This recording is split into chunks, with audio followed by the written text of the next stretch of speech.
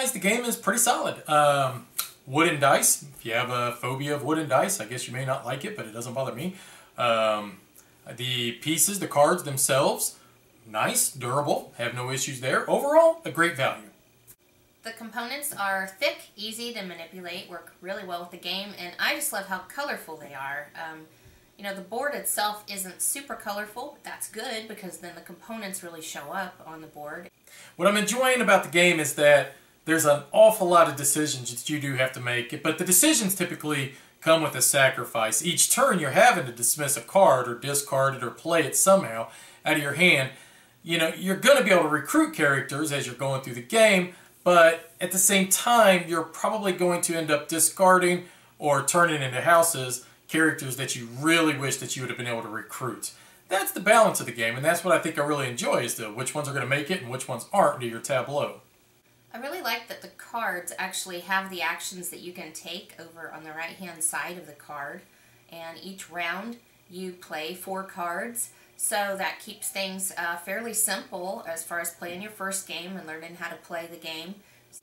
You know, and the other difficult thing is, is that you, you don't really know which characters you're going to draw as you keep going through the game because just because you see the back of the color of the card as you're drawing them it doesn't mean that that okay I drew a purple so therefore that's a royalty you know? I drew a brown therefore you know that's the assassins or whatever.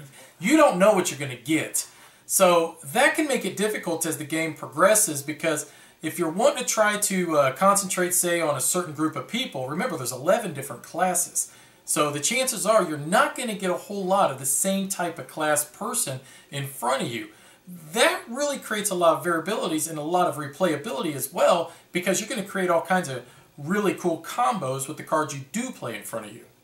Uh, one of the aspects of this game that I really appreciate is the threat tokens um, because as an action you can actually get rid of a threat token so that adds to the strategy of the game. It's another decision you have to make.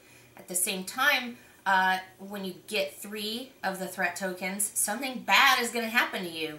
So it can really make a big difference in the game if someone's getting rid of threat tokens, somebody else isn't bothering to do that.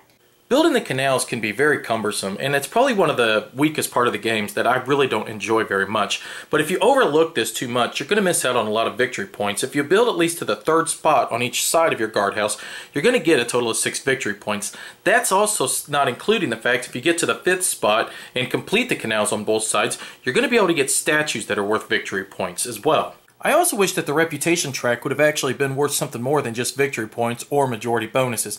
It'd be neat if you moved up the further you did that maybe it would actually subtract off the cost of being able to recruit uh, people in front of you, but the only thing it is actually good for is just victory points at the end of the game, so it's easy to even overlook this one to try to save your guilders to recruit people, but if you do, you're going to miss out on some victory points. And I've actually one time have made it all the way up to the 12th spot, and that's out of probably about 15 games we've played, so it's not the easiest uh, thing to achieve. One game that this reminds me of is Tournay, um, which actually is surprising because I really, really enjoy this game. I love it, and I don't like Tournay at all. But I think that the difference is that this game uh, is it's easy to learn how to play. You don't have to learn a whole different language full of symbols in order to play this one. Um, it, it feels to me, personally, like this is the game I wish Tournay was. Carmen made a comparison and she thought that uh, this game reminded her a lot of Tournay, and if you've ever played that, it is very similar to this because you're actually playing the cards in front of you, you're creating a city, kind of like you're building the houses and you're putting the residents in in this game. It reminds me somewhat of Guildhall for some reason, and I guess the reason is because I'm putting characters in front of me, and depending on how I use those characters, you know, gives me different types of actions per character. So if you like Guildhall, I'm, I'm pretty confident that you're going to like this, and if you like Tournay, you're probably going to like this as well. Thank you for watching. So the purpose of this video was to just give our opinions quick and to the point. However, we do also have a live play of this up, and uh, it's going to show you the game how it plays out in real time. We play the entire game from start to finish, and uh, gives you a great feel as if uh, this is going to be a game for you or not. Then on top of that, we actually have a how to play video out as well, which even goes into more detail teaching on how this game plays. So, if uh, you like what you hear, why don't you go see if you like what you see. Thanks for watching. Bye-bye.